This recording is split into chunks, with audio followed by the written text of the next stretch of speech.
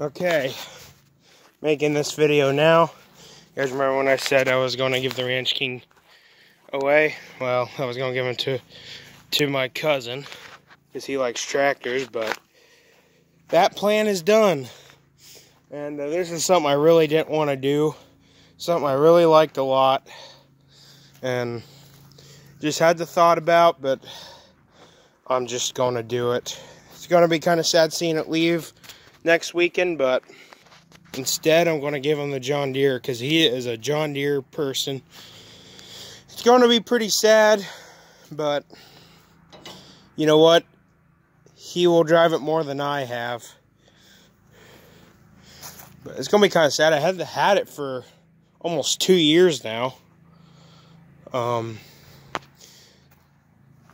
say it's going to be kind of sad, but it'll get my cousin will drive it a lot more than I did. Than I do. Um, yeah, it'll be a good tractor for him.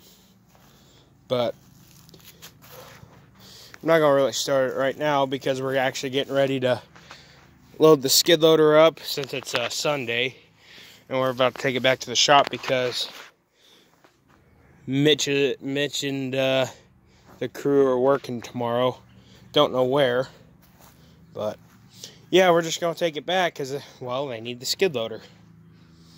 Yeah, plans change, guys, but I really didn't want to, but I was like, I'll just do it. So, but there's some more good news. You guys said I was going to get rid of it. Well, I'm keeping the Ranch King now. I'm going to keep it, drive it for a while.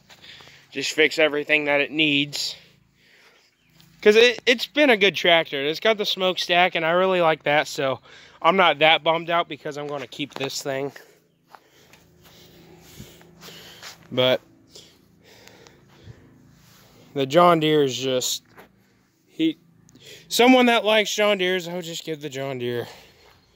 But, yeah, I, I'm going to keep the Ranch King because, I mean, that smokestack's pretty cool. And I need to tighten the engine get a bushing for this tire because it's been wobbling since my dad got me the tractor.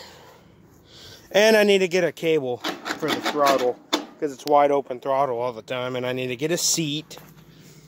But, but I'm not that bummed, but I will be pretty sad to see that thing go. But I don't think it's leaving until next weekend. But I'll probably make a video of that. But yeah, I mean, the good thing about this thing is the tires are brand new in the rear. It's automatic, but it drives pretty good, and it looks like I'm got just a hair bit of an oil leak, which it had for a little while. I did put some gas in it. Yeah, see. And yeah, I cleaned the underneath of it too. It was it was pretty bad. It looks really good now. Yeah, I need a paper towel because it oh, always shows over full when you first pull the dipstick out. Yeah, the Landmaster's out of gas because it won't stay running. It's the first time I've ran it out of gas, but yeah, well, I figured I'd make a video since plans are changing. The Ranch King is staying now. The John Deere isn't. Last time the Ranch King was going to go and the John Deere was going to stay, but I'm going to just go ahead and keep the Ranch King instead of sell it because it probably wouldn't get sold for much and plus I would uh, drive it around for some things. And I actually drove it quite a bit today and it did pretty well other than it's not running the greatest. I have to keep pulling the choke out multiple times and then pushing it back in so something's not right. Good thing is I've got a brand new battery for it But, yep, there's what I'm going to do.